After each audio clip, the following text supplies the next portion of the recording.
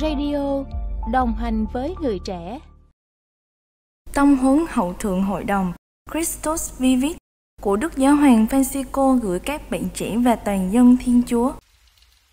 Các thánh trẻ số 49 Giữa lòng giáo hội có rất nhiều vị thánh trẻ, những người dân hiến đời mình cho Đức Kitô, đến mức nhiều người trong họ những cái chết tuẫn đạo.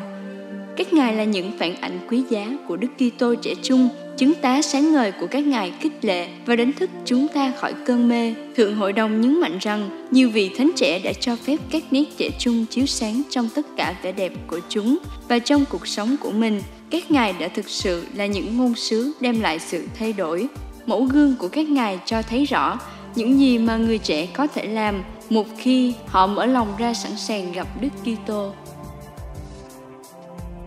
Số 50 Xuyên qua sự thánh thiện của người trẻ, giáo hội có thể làm tươi trẻ lại lòng sốt mến thiên liêng và khí thế tông đồ của mình.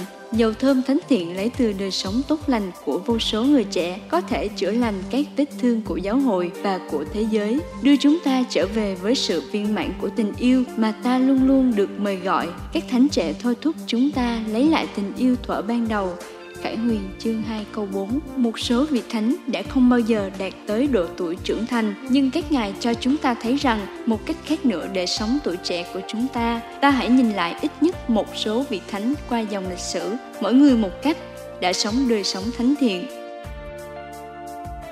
Số 51 Vào thế kỷ thứ ba, Thánh Sebastiano là một người chỉ huy trẻ của đội cận vệ hoàng đế.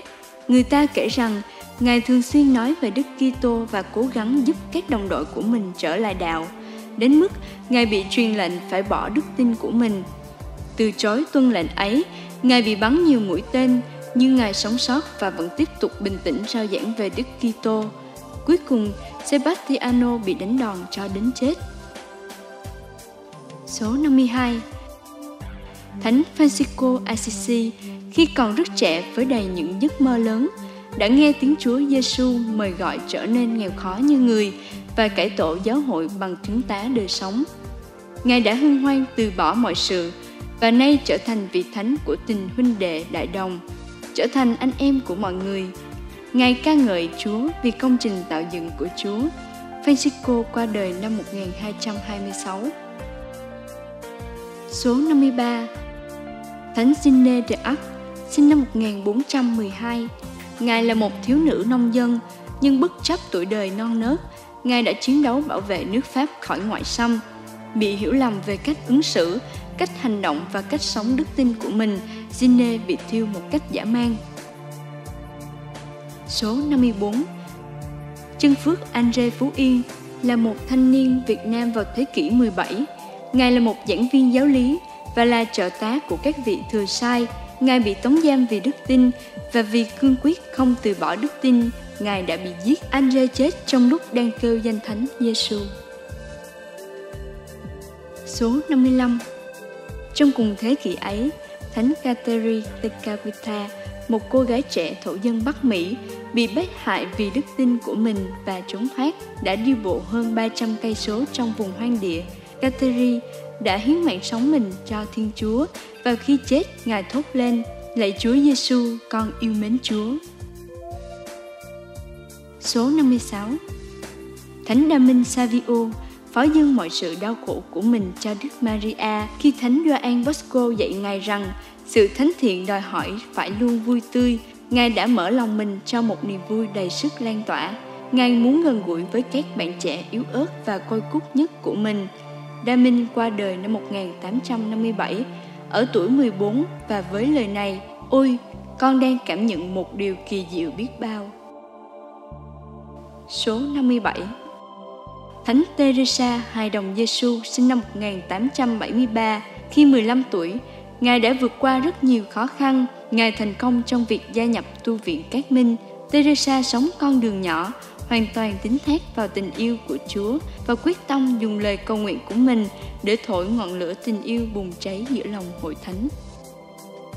Số 58 Trương Phước Seferino Namuncura là một chàng trai Argentina, con trai của thủ lãnh một bộ tộc thổ dân vùng xa. Ngài trở thành một chủng sinh xa lê duyên. tràn ngập khát vọng trở về bộ tộc của mình, mang Đức Giêsu Kitô đến cho họ.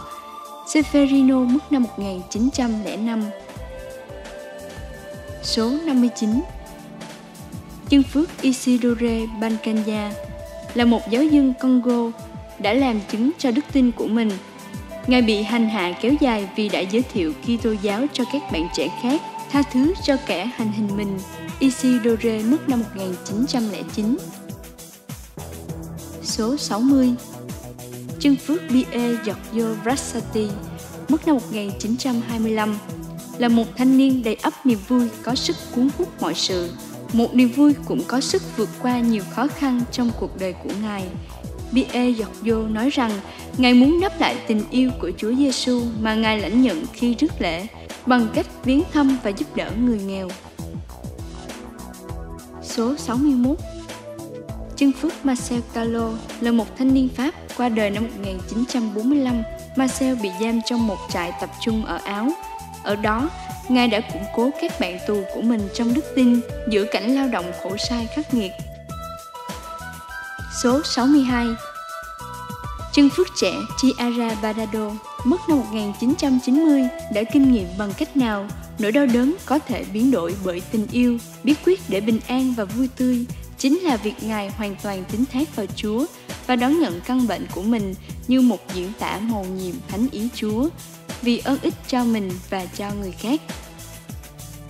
Số 63 Nguyện xin các vị ấy và rất nhiều vị khác có lẽ âm thầm sống triệt để tin mừng, chuyển cầu cho giáo hội để giáo hội có đầy những người trẻ vui tươi, can đảm và nhiệt tâm dấn thân, những người có thể cống hiến cho thế giới những chứng từ mới về sự thánh thiện.